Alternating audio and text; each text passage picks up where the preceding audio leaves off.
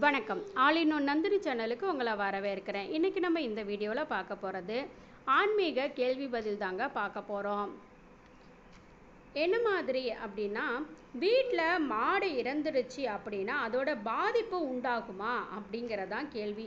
நிறைய வீடுகளில் இப்போ பார்த்தீங்க அப்படின்னா மாடுகள் வளர்க்க ஆரம்பிச்சிட்டாங்கங்க. அது வந்து பாலுக்காக இருக்கலாம் அல்லது மற்ற தேவைக்காகவும் கூட இருக்கலாங்க. அதனால வளர்க்கிறது வந்து மாடு இறந்துருச்சு அப்படின்னா அது நமக்கு பாவம் உண்டாகுமா அப்படின்னு சில பேர்த்துக்கு பயமும் இருக்கும். அதாவது அந்த மாட்டுக்கு வயது முதிர்வுனாலையோ அல்லது ஆரோக்கிய குறைபாடுங்கிறது வந்து இயற்கையான முறையில் வந்து இறந்துச்சு அப்படின்னா எந்த விதமான தோஷமுமே இல்லைங்க. ஏன்னா மாடு அப்படிங்கிறது ஒரு தெய்வத்துக்கு நமக்கு சமமானது. அதுவும் இல்லாமல் ஒரு உயிருங்க.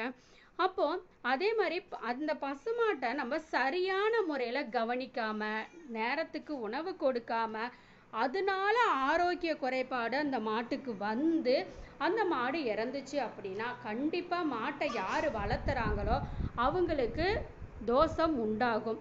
அதனால அது ஒரு உயிரி நம்மள மாதிரி. ஆனால் வாய் திறந்து எதையுமே வந்து கேட்க முடியாது. அதனால அதுக்கு சரியான முறையில் நேரத்துக்கு நம்ம உணவு தண்ணீரும் கொடுத்து அதை சரியான முறையில் பராமரித்து வரணுங்க.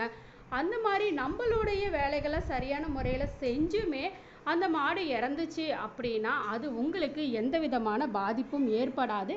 அதுக்காக நீங்கள் கவலையும் பட வேண்டாங்க.